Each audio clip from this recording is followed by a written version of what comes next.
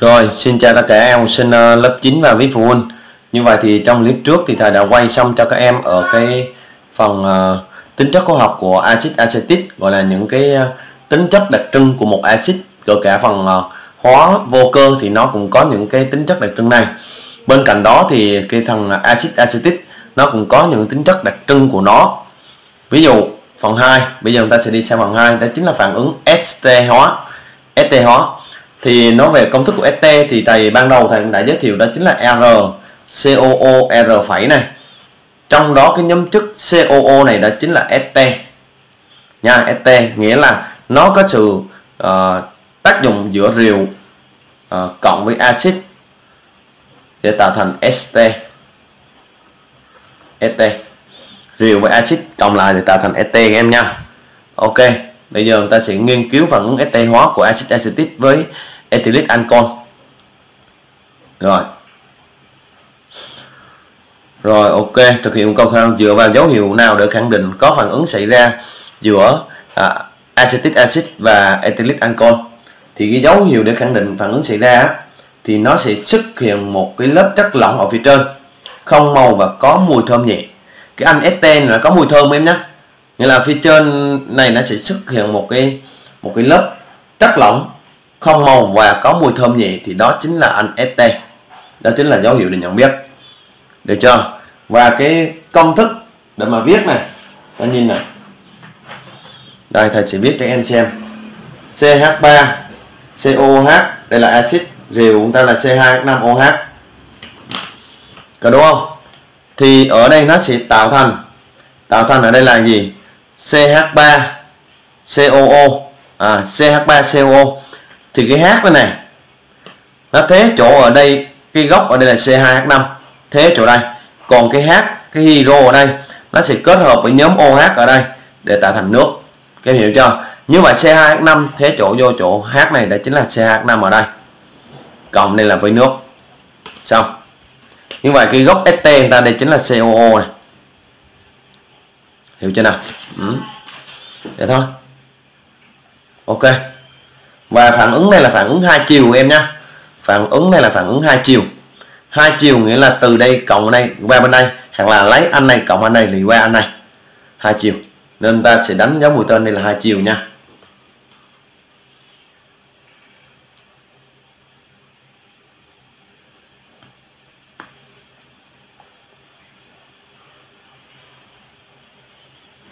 Rồi, ok đây người ta có uh, viết cái, cái phương trình phản ứng này các em này. Nha. Ừ. rồi. ST hóa. Ở đây chúng ta làm câu hỏi này. À, Probiastat là một ST có mùi thơm đặc trưng của quả lê. Biết quả lê đúng không? Probiastat thu được khi đun nóng. Axit acetic là CH3 COH cộng với lại pri uh, probi ancol probi ancon pro là 3 đúng không? Chính là C3H7 OH probi ancon là thằng này này game này thì ở đây ờ, có mặt để chất xúc tác chúng ta là H2S4 này. À, nhiệt độ. Như vậy thì khi đó nó tạo thành ở đây là CH3 à, ờ, COO thì cái H này cái C3H7 này này C3H7 thế chỗ hydro đây ngay chỗ đây là C3H7 cộng đây là nước đó. Viết phương trình phản ứng này. Ok. Nha. Đây kìa. Thì em thấy rõ. Rồi, tiếp tục. Chúng ta sẽ đi sang trang 126 em.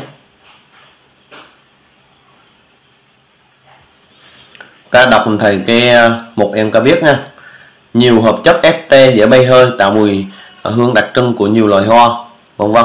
À, trái cây rồi đó. Đó chính là cái mùi sản phẩm. Và các ST thường có mùi thơm em nhé. Ừ. Bây giờ chúng ta đi sang một phản ứng nữa đó chính là phản ứng cháy. Phản ứng cháy thì ảnh cũng sản phẩm tạo thành là CO2 cộng nước này chúng ta ghi này phần này nha.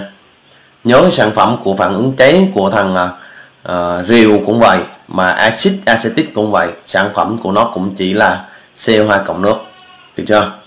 Về phần điều chế ghim tài phản ứng cháy nó vô nha. Về phần điều chế, thì điều chế thì bằng cách là sẽ lấy rượu cộng oxy lên men giấm tạo thành axit. Ở đây. Khi để các loại rượu có nồng độ độ cồn thấp như rượu van rồi tiếp xúc với không khí, nghĩa là, nên là những cái thau rượu bình rượu á, khi người ta ngâm em thì người ta phải uh, uh, thật kín. Đậy thật kín để làm gì? Uh, để mà khí oxy nó không bị vào vào để tác dụng với rượu tạo thành axit mất. Khi đó có vị chua cái hiểu nào? Như vậy thì sau một thời gian thì các loại rượu này có vị chua hay giải thích? Chua ở đây đó chính là có axit. Theo phương trình này nè. Em hiểu nè ừ. đây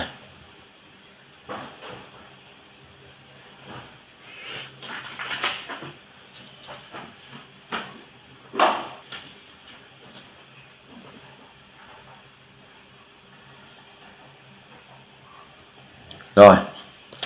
Tiếp tục ta đi sang phần ứng dụng. Ứng dụng thì em thấy axit acetic sản xuất tơ sản xuất chất kết dính sản xuất dược phẩm sản xuất hóa chất à, vân vân. Em thấy nha à,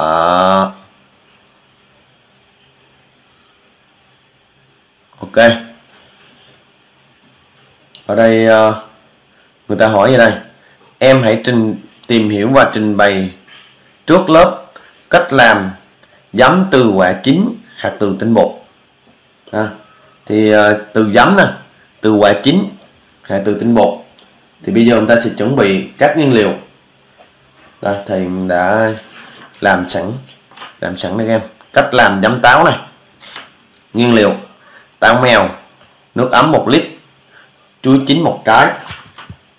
Về dụng cụ này chúng ta chuẩn bị à, cái hũ để đựng. Thể tích đây là 2 lít theo khăn xô ấy mùng rồi đó. Ta ghi vô. Hạt ở địa phương của mình đang học á à, ví dụ như có thể là nho ha, nho hoặc là chuối hột. Thì thấy ở cái khu vực à, địa phương của mình có gì thì chúng ta làm cái đó nha. Chứ không phải lúc nào cũng là làm cách làm giấm táo này. Chúng ta có thể làm à, theo à, nho nho rừng hoặc là nho của mình mua gì cũng được em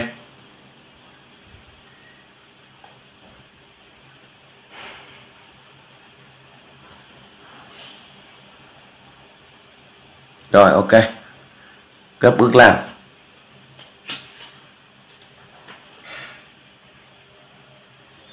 Rồi, tiếp theo. Ta sẽ đi sang phần tiếp theo nha. Em đã học axit acetic. Ở đây. Được nào đó chính là cái các kiến thức chúng ta cần nhớ ấy. công thức. Rồi phản ứng với à, tạo thành ST rồi ok. Em có thể biết cách tạo ra giấm bằng phương pháp lên men sử dụng trong gia đình. Thì cái này chắc chắn ta biết à. vừa rồi mà chúng ta vừa mới làm cách à, tạo ra giấm táo à. chúng ta có thể tạo ra à, giấm chuối à, giấm nho vân vân. Vận dụng các tính chất acetic để ứng dụng trong đời sống như loại bỏ cặn trong ấm đun nước thiết bị vệ sinh. Ok. Như vậy thì clip hôm nay tại đây là kết thúc em nha trong clip sau thầy sẽ quay tiếp cho em ở cái phần tiếp theo. Chúc cho em học tốt. Bye bye. Ok. Rồi xin chào các em.